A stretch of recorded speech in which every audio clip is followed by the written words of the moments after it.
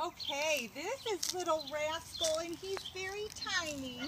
He's only about four pounds and maybe three months old. He is the littlest one out of the litter and has got the neatest brindle coloring. Kind of looks like the candy bar coloring. Are you a good boy? And he's very little, like I said, so he's not so used to this leash. He's like, why do you have that on me? I don't like it. From the um, animal control here in San Antonio, Texas.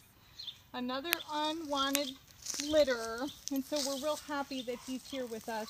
He's cute as a button, and he's just sweet. Yes, he is. And if you're looking at a puppy, we always suggest getting a crate and signing up for a puppy class. And he's not always this calm. I think it's the leash.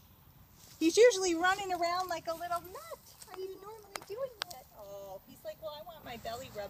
And it's very hot here in Texas today. Very hot.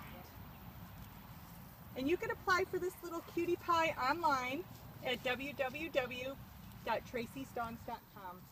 pretty. Just